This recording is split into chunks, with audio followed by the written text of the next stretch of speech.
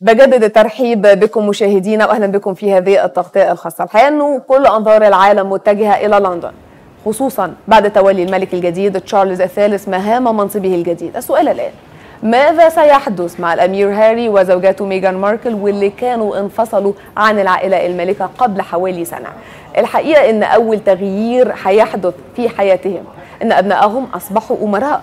تحديدا ابن وابنة الأمير هاري وزوجته ميغان ماركل واللي رسميا حملوا الآن لقب أمير وأميرة بعد وفاة الملكة إليزابيث الثانية وفقا للقوانين المتعلقة بأحفاد الملكة. ليصبح الآن صاحب السمو الملكي الأمير أرشي ساسكس رويال وصاحبة السمو الملكي أيضا ليليبات ساسكس princess ونالهما اللقبين جاء وفقا للقانون الذي وضعه الملك جورج الخامس عام 1917 والذي بموجبه يتلقى أحفاد الملك تلقائيا الألقاب كأحفاد مباشرين للملك تشارلز الثالث.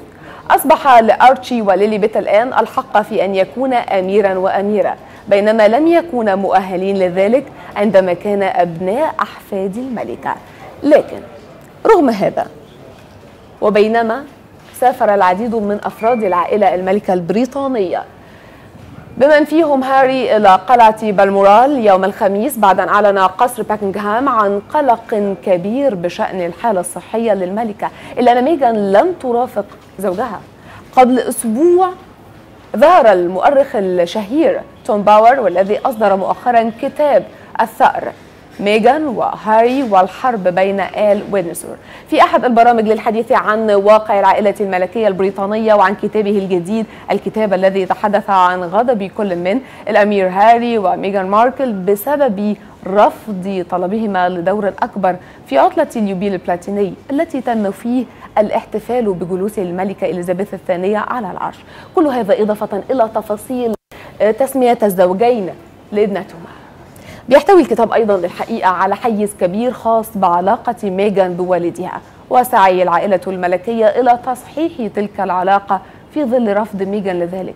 وتقديم حجج تسببت في غضب كبير لدى الملكة إليزابيث الثانية منها ومن نجلها وأيضا من نجلها الأمير أو الملك حاليا تشارلز. يكشف الكتاب عن لقاء الأمير هاري بزوجته ميغان ماركل. هذا اللقاء كان مدبرا من قبل صديقة مشتركة بينهما. وأن ميغان كانت على علاقة بشاب آخر في تلك الأثناء. وكيف كان الأمير هاري؟ كان أشبه بهدف للممثلة ميغان ماركل والتي تسعى للحصول على الاستقرار والأمان المادي. بالتأكيد بالتأكيد الأمير هاري وزوجته ميغان ماركل لن يعود كأعضاء عاملين في العائلة المالكة البريطانية. وإن كان القصر بيقول أنهما هيبقوا من أفراد العائلة المحبوبين. الملكة إليزابيث الثانية قبل ما تتوفى كتبت لتؤكد أنه بالابتعاد عن عمل العائلة المالكة لا يمكن الاستمرار في المسؤوليات والواجبات التي تأتي مع حياة الخدمة العامة. نتيجة لذلك سيتم إلغاء المناصب العسكرية الفخرية والرعايات الملكية التي كان يحتفظ بها أو كان يحتفظ بها الدوق والدوقة وإعادة توزيعها بين أعضاء العائلات المالكة مرة أخرى.